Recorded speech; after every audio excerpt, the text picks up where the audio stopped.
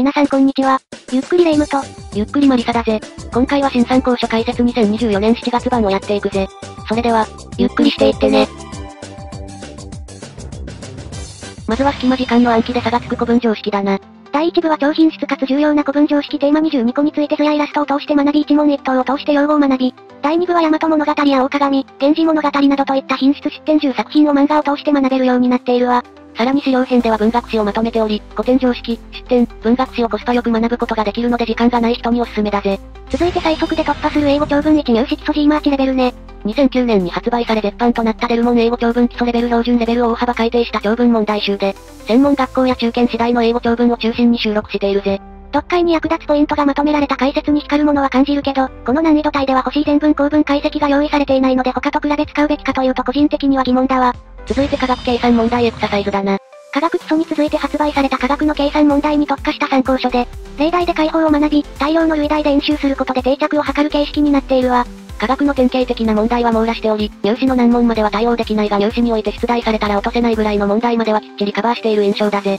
苦手な人が多く品質な科学平行や妖怪土石だけでもやってあげるといいかもしれないわ。続いてライバルに差をつける情報1鉄板の100台だな。共通テストで狙われやすいテーマを100問に厳選し、1台ごとに詳しい解説を用意した問題集で、プログラミングの問題も多く入っていてかなり役立ちそうな印象だわ。端末には重要用語をまとめた作品も用意されているので知識チェックに非常に有効だぜ。続いて英作文ハイパートレーニング自由英作文編プラスね。自由英作文に重要な論理部分を司るビコーズやイーブン F などの表現を入れた後に過去問に挑戦する形式で、難関大の過去問も多く収録しており近年流行りの図量イラスト問題にも対応してくれているぜ。また、チャプター4の自由英作文で使う品質554は特に最新テーマという観点から使える語彙やフレーズをまとめており、覚えておけばかなり強いと思うわ。自由英作文編の改訂版と勘違いしている人もいるかもしれないが、改訂版ではなく完全に新作となっているぜ。横国のようにメールが品質の場合はこちらより普通の自由英作文編の方が向いているかもしれないわ。続いて優しい高校古典文法だな。優しい高校数学を中心に科学、物理、英文法などでシリーズ展開が進んでいる優しいシリーズの古典文法版で、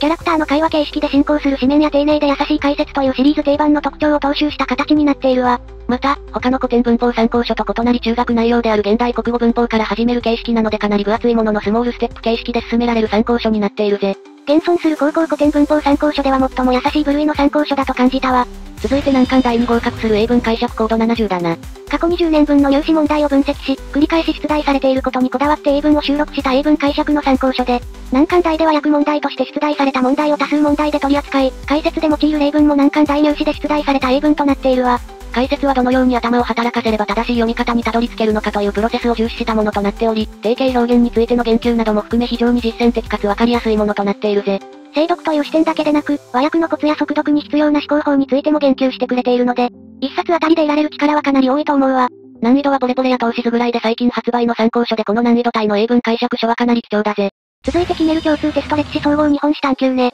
河合塾の石黒先生から寸大の鈴木先生に著者が変わり、やや構成が変わったが、特に各章の前に用意された流れをまとめた図解が良かったぜ。ただ新課程から導入された歴史総合に関しては別冊の用語集のみとやや流れなどを理解するには親切な作りではなくややウィークポイントだと感じたわ。続いて情報1大学入学共通テストプログラミング問題対策ステップアップで身につく練習帳だな。動画解説がついた情報1のプログラミング特化参考書で、ステップアップとあるようにプログラムの基本文法から基本問題、実践問題、予想問題と段階を追って基本から学習できるわ。プログラミング対策に一冊使うかは正直判断に迷うところではあるがプログラミング対策をする上でかなり役に立つ参考書だと感じたぜ。続いて茅野木先生の情報1プログラミング教室ね。こちらも基本から学ぶ形のプログラミング特化本で、全40の鉄則を習得しそれを運用するプログラミング攻略法を学ぶ形になっているぜ。共通テスト型の問題までしっかり対応できているわ。続いて数学の真髄ベクトルだな。1ベクトルなど基本的なところからベクトルを見直しつつ図形問題を攻略する手法や考え方を学ぶと同時に三角関数や方程式へのベクトルの利用も扱うことでベクトルを用いて高校数学を俯瞰する参考書で、外積、行列、座標変換など原稿過程には含まれていない内容や正社 A ベクトル、社交座標といった教科書に載っていない内容も適宜用いているわ。ただ論理を理解していることを前提に紙面が展開されていたり、説明もかなり高度なものなので使用者はかなり選ぶ印象だぜ。また、ベクトルの難問特化演習書ではないことにも留意しておく必要があるわ。一応他の難関大ベクトル特化参考書として標準問題成功が挙げられ演習メインで行きたいならこっちがおすすめだぜ。続いて秘伝の物理定期テストで点が取れる授業動画付き物理基礎のインプット講義ベーシックね。秘伝の物理の物理基礎版で、授業動画はこれまでの秘伝の物理の引き継ぎではなく新規撮影されたものとなっているぜ。文系でも理解できるように秘伝の物理以上に例え話を使いつつかなり噛み砕いた解説になっている印象だわ。授業ノート兼要点集 PDF がダウンロードコンテンツとして用意されているぜ。続いて最難関大英語長文読解の原点ね。東大、京大、短海学部の過去問を多く取り扱った最難関大向けの参考書で、入試で実際に出た設問と独自に制作した設問が用意してあり記述問題には細かい採点基準がついているぜ。記述問題以外にも要約問題や正序英作文、空所補充、細かい構文解析なども用意されているので難関大志望者に非常におすすめの長文問題集だわ。続いて新標準講義日本史探究だな。メタ視点とメタマッピングによって、どの時代のどの内容を学習しているのか、どの点に注目すればよいのか意識しながら進めることが可能となっている参考書で、時代の流れ、変化、因果関係などをうまく整理しながら学習を進められるわ。国公立の最難関以外は対応できるように制作されているので日本史の講義系参考書を探している人は要チェックだぜ。続いて八澤のたった3時間で古文読解ね。古文読解をスピード攻略することを目的とし、3時間の講義動画がついた参考書で、そのコンセプト通りかなり短期完成が見込める参考書となっているぜ。特に古文常識や重要構文など様々な情報が凝縮されたミニブックは見どころだわ。続いて八澤のたった7時間で英文解釈だな。マーチや関関同立、共テ7割レベルの国公立大の英文の8割に正確な SVOC が振れるようになるをコンセプトに中学卒業レベルから学習を始めることができ、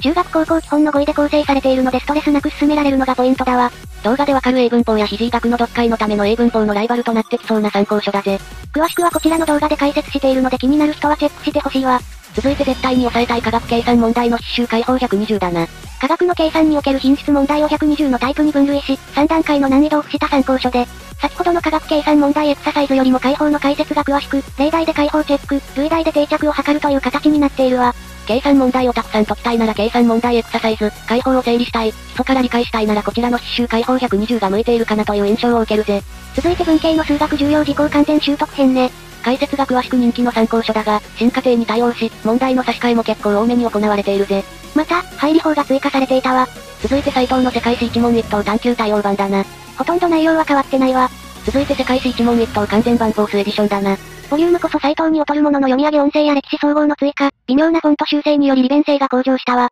世界史で稼ぎたい人、文化史がよく出る人は斎藤、そうじゃない人は東進という使い分けができそうだぜ。続いて三平剛のベストセレクト物理大学入試標準問題集ね。このレベル帯だと両門の風が大人気だが風より問題数が多くなっており基本、重要、チャレンジの3段階に分かれているぜ。前半からかなり評判が良かったんだけど基本公式や定理の確認、図を用いた解説、別解など解説も結構手厚いので十分おすすめできる問題集だわ。タイプ別問題リストも非常に便利だぜ。続いて影山の共通テスト倫理政治経済改定版ね。進化程に対応したがいずれもそこまで変更点はないぜ。続いて成川の深めて解ける英文法ベーシック、インプット改定版ね。成川のなぜがわかる英文法の需要の改正版として発売されたベーシックは時制、関係し、家庭法といった高校英文法でつまずきやすい分野に絞っており、インプットは逆に網羅的に高校英文法の内容を収録したものとなっているぜ。いずれも巻末あるいは別冊に扱った例文がまとめられるようになったので利便性が向上しているわ。最後にレベル別英文法問題ソリューションラストスパート1スタンダードレベル2ハイレベル3トップレベルだな。4択10題、正序5題、正語問題5題を20回分収録したランダム問題集となっており、特に3では長文とも絡めた問題が入っているわ。また、慣用表現など知識のまとめがかなり充実しているのでそこもきっちり覚えるようにしてあげるとより効果を発揮してくれるぜ。では今回の動画はここまでだな。それでは、ご視聴ありがとうございました。